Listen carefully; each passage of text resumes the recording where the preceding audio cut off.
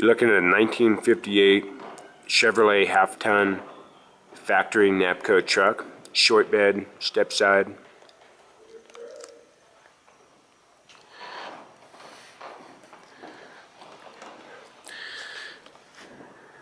It's got brand new mud terrain, tires, chrome, chrome wheels, Eagle alloys.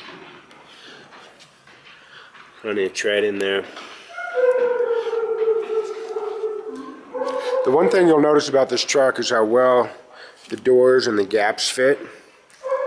Although the truck has been painted several times, it doesn't appear to have had any major body work. Very nice chrome on the front there. This area is what we believe to be the original color, this the teal, and you can see that up underneath the undercoating. Again, the gaps and the doors fit very nicely. Probably nicer than many of the Apaches we've had in here. The bed appears to be the original bed. It does need to be replaced, but it is there. You'll notice that a lot of the typical trouble spots, they have been fixed at some point, but they're not thoroughly rusted through at this point.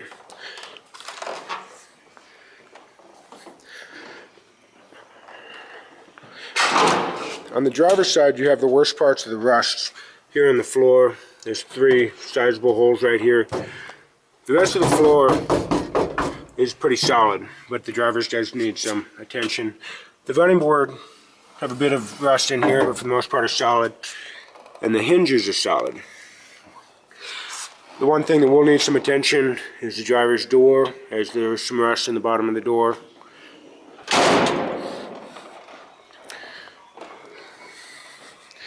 And there's one other spot over here that is not rusted through, but it has bubbled underneath the paint. The rest of the truck is very solid. The frames are solid. There's no rust on the frames, on the frame or the undercarriage really.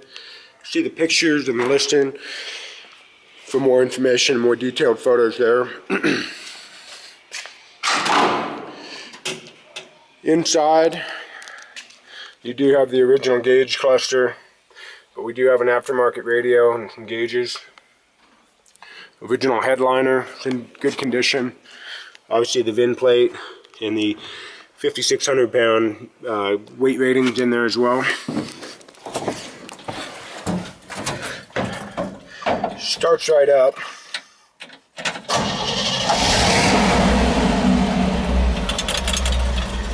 Radio works, stereo is pretty decent.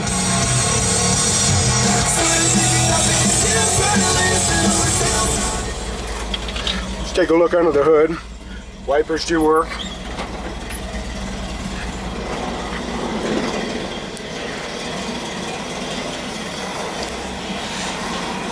Comes with the original spare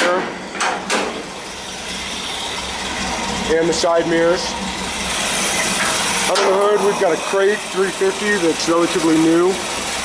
Uh, coupled to the original transmission, original driveline, original Napco driveline.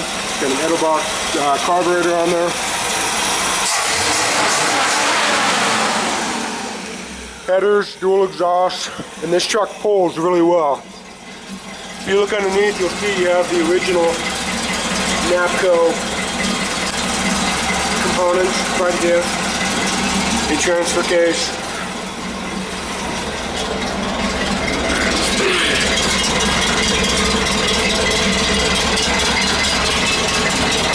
And you'll notice that the cross member is riveted to the frame, which is a telltale sign that this is an original fa factory Napco. There you see the original color.